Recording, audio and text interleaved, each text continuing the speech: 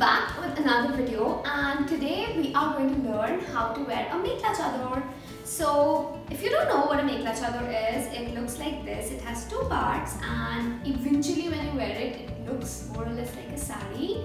But it's actually a traditional Assamese dress and this one my mom got for me. So my mom and dad visited Assam and Meghalaya and so this is like an authentic piece and I've never worn it before okay? That's the funniest part. And I don't know how this looks like even. I hope it will look like a long piece of cloth and I can just wrap it around me.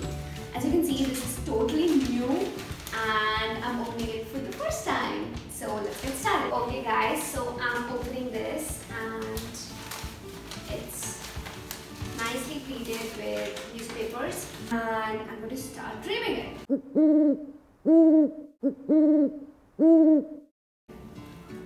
so this is the truth. I was so wrong. This is not the makeup. First time, told you. Okay, so let's back. Okay, so this is a skirt without an elastic. Yeah, got it. So I have to do something with the skirt so that it looks well. Fine. Okay, so this is how it's going to look and I have to drape it like a sari and then I have to take get inside this. Oh, I feel like I'm getting ready for my sack race. Ah, cool. We are inside the mekhla and now I gotta figure out, okay, this is not that difficult.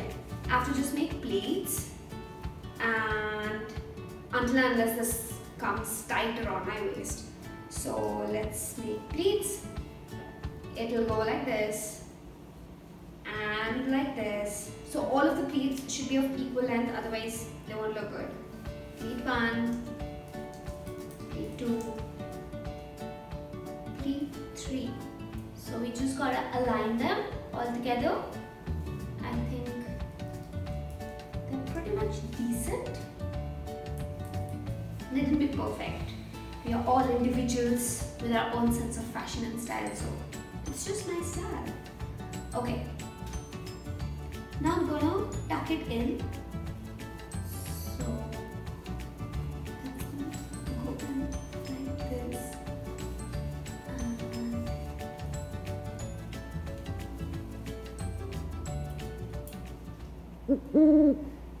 this doesn't look good.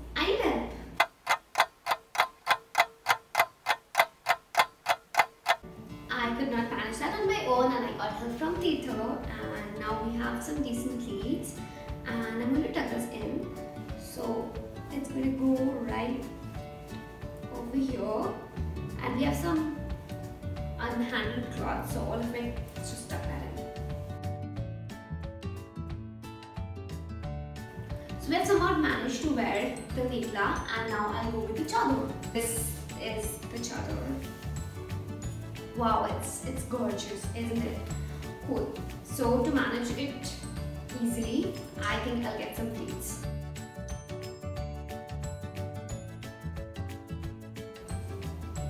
Like this and I'm going to get a length which is not too long, neither too short. I think something near my knee is perfect. So I'm going to put it over here.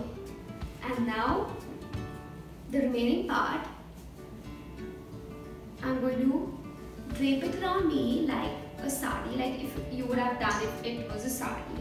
So it goes like this. So this is the lower portion of the chador which gives you that authentic mekhla look. So I'm going to bring it over like this. Okay, it's going to be parallel to this. And then I have to make a triangle. So just bring it down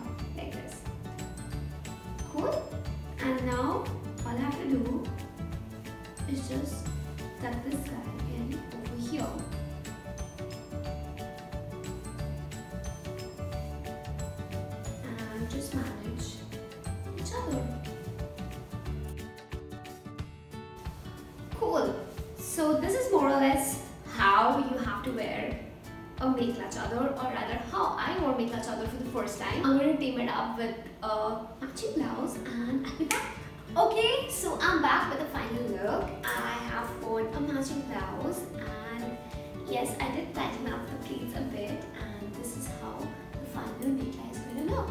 And if you haven't seen my Durga lookbook, do take a look. I'll put a link over here or in the description box and feel free to comment on how you like it. Thanks, bye!